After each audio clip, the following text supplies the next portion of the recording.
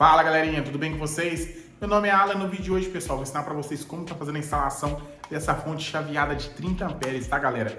É isso mesmo, vamos mostrar para você como tá instalando ela aí, dando dicas de ligação aqui e tudo mais. Então acompanhe esse vídeo até o final, que eu sei que vai ajudar bastante geral aí, você que tá vendo o vídeo, tá? E se eu ajudar vocês também, galerinha, ou se você já quiser fazer isso de uma vez, se inscreva no canal aí, ajuda bastante e é gratificante pra gente ver a numeração crescendo. Vocês não têm noção quanto é bom isso. Também deixa o like nesse vídeo, comenta bastante aí, dúvida e tudo mais, elogio, dúvida, dica, reclamação, o que você achar que deve comentar aí, tá bom, galerinha? Então, sem enrolação, bora, bora ver esse vídeo? Então, galerinha, a gente vai aprender aqui hoje como tá ligando, como tá instalando essa fonte chaveada aqui. Muito bacana, fontezinha de 30 amperes, tá bom? E é isso, galerinha. Bora, bora aprender antes de tá ligando esses esses fios aqui para você não estar tá fazendo cagada aí e tá queimando e perdendo muita grana, né? Galera, vamos lá. De início, um comentário para vocês, uma ideia, uma dica e tudo mais. Essas fontes chaveadas não são aquelas fontes profissionais automotiva. Eu mexo com som, sou instalador, sou vendedor e tudo, então eu vou te explicar. Esse aqui é uma fonte mais simples, para você montar uma caixinha residencial, fazer um projetinho que você precisa de 12 volts, aquela coisa toda. Então ela não é aquela fonte profissional que a gente é acostumado a usar, fonte usina, fonte é, tarampas, testes, aquela coisa toda, beleza? Mas enfim, bora, bora lá, bora aprender a instalar, beleza? Galera, é o seguinte, é, essa fonte, ela é muito bacana, essa aqui já é uma usada, tá bom? Mas é, dá para vocês verem da mesma forma. De início, já tem um adesivo bem destacando aqui, ó, que é o que? É, explicando, mostrando questão de 110 e 220. Galera, ela não é automática, a gente tem que mudar na chave mesmo. Aqui dentro no buraquinho dela, não sei se vai dar para vocês verem, de relance vai dar. Aqui tem uma chavinha, olha lá, assim dá, ó. A gente muda o botão. Aí aqui fala, ó, 220 para cá, 110 para cá. Fechou? Então você já muda pro o que você usa. Se usa 110 aí, já deixa no 110. Você usa 220, já deixa no 220. Tá bom? Essa fonte ela tem um cooler para refrigerar aqui, porque esquenta bastante, né, galera? É uma fonte, né?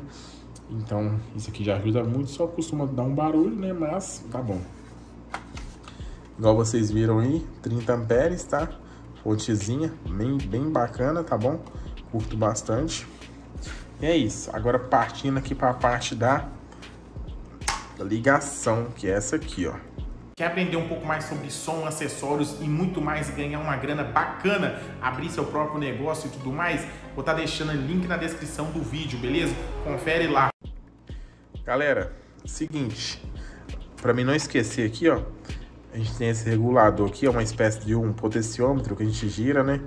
estilo assim, um botãozinho, você enfia uma chavinha de fenda fininha, aqui a gente regula a, quantos é, básicos a gente vai mandar para a nossa fonte. Se a gente vai mandar de 9 a 15, se eu não me engano, que essa aqui é. Então você gira, se você quer 9, 10, 12, normalmente a gente quer 12 a 14, tá? A gente usa automotivo. Então você confere de quantos que ela tá, porque talvez você liga ela no seu projeto e ela tá dando 9 só. Então testa com o multímetro na saída, fechou? E temos um LED verde aqui que indica que ela está funcionando ou não. Agora bora lá para instalação. Galera, aqui vem escrito... Vou deixar do jeito que brilha, tá vendo? Dá pra gente ver aqui, ó. Os, as ligações de, do negócio aqui, ó. Primeiro a gente tem aqui... A gente tem aqui, pessoal, L e N. Dá pra vocês verem aí, ó. Tá vendo aqui, ó? L e N beleza? L e N é o que, pessoal? Que são esses dois primeiros parafusos aqui, ó. É aqui que a gente vai ligar a nossa tomada, para estar tá ligando na, na energia, na luz, no 110. A gente vai estar tá ligando as duas tomadas aqui, ó. Primeiro e o segundo da esquerda. A gente vai estar tá ligando aqui, ó. Então, um fio desse vai para tomada, outro vai para tomada. Aí já vai estar tá funcionando a nossa fonte, já vai ligar e tudo. Fechou? O terceiro aqui, ó, não sei se dá para vocês verem, é o aterramento. Se você tiver ferramenta aí na sua tomada, aquela coisa toda, você pode estar ligando aqui. Fechou?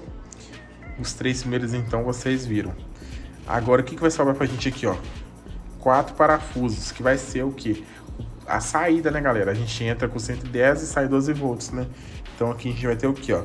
Esses dois primeiros parafusos aqui do meu dedo, ó, são negativo e os dois últimos positivos. Então se a gente começar por lá, aqui que a gente vai ter os dois primeiros aqui positivo e os dois segundos negativo. Um, dois positivo, três, quatro negativo, tá bom? Como a gente vai estar tá instalando ela, galera? Normalmente se você vai ligar uma fontezinha dessa, você vai estar tá ligando um rádio de carro, um módulo, alguma coisa assim. O que, que você faz? Como a gente tem dois positivos e dois negativos, a gente divide, né, galera, os, os fios para não sobrecarregar só num, num parafuso, né? Não tem necessidade se tem dois positivos. O que, que a gente faz? Vamos supor que você vai ligar um módulo, um rádio, é, tipo uma caixinha trio. Você vai puxar o positivo do seu rádio e ligar aqui. O negativo do seu rádio ligar aqui. O positivo do seu módulo ligar aqui. O negativo do seu módulo ligar aqui. Sacou? Dividindo aqui para ficar bem legal. Então você fazendo essas ligações conforme eu falei, confere certinho. Aí você puxa aqui para parafusar, né? Depois você abaixa, trava e pronto. Você já ligou sua fonte. Sua fonte não tem segredo. É você entrou com a energia do 110 nela ou 220, aí ela vai já ligar e ela vai sair 12 volts se você tiver regulado aqui no, na configuração. Bem simples, bem fácil. Aí você usa sua fontezinha chaveada aqui para o que você achar melhor. Um projetinho residencial com uma bancada de teste, o que você preferir, né? Aí vai ser o uso seu aí, tá bom, galera? Mas só atenção na hora de comprar a sua. Se for comprar esses modelos chaveados aqui, tem uns modelos bem bacana de 90 amperes, aquela coisa toda, pode estar pegando também. Beleza, galera? Então tá aí para vocês, bem fácil, dica de como tá fazendo a instalação dessa fonte chaveada de 30 amperes. Fechou, meus amigos? Tamo junto, é nóis. Então, meus amigos, chegamos aí até o final, né? Vocês viram aí como é que é bem fácil fazer essa instalação dessa fonte aqui. Qualquer dúvida pode estar me falando aí. Vou estar deixando na descrição do vídeo aí, nos comentários fixado, link de curso automotivo. Confere aí para você ganhar uma grana, tá? Não se esqueça de me seguir nas redes sociais. Tamo junto, valeu!